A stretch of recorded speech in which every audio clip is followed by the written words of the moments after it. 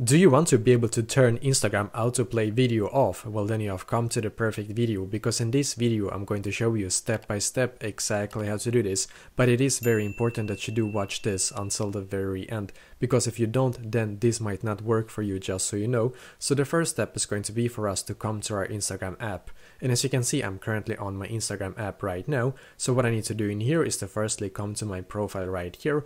And now I'm going to click on the three lines in the top right corner. So click on the three lines and then you should be taken here which is great what i'm going to do firstly in here is to click where it says settings so click on settings now in here I'm just going to scroll down and then I'm going to click where it says account. So click on account because then you should be taken here which is great. What I need to do in here is to scroll down again and then click on data usage. So click on data usage and as you can see the first setting here where it says use less mobile data. You need to activate this one.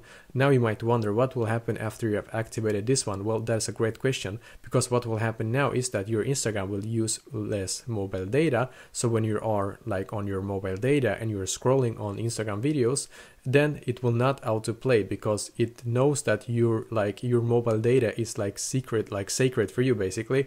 And they don't want to use as many of like your mobile data as possible. So instead of just autoplaying they will just like completely stop the video basically. So yeah this is exactly how to do this. So let me know in the comments below if you have any questions and I will do my very best to try to help you and also please leave a like on this video and subscribe to my channel because I'm doing a lot of helpful videos constantly that might be very useful to you Thank you very much for watching and I wish you an awesome day.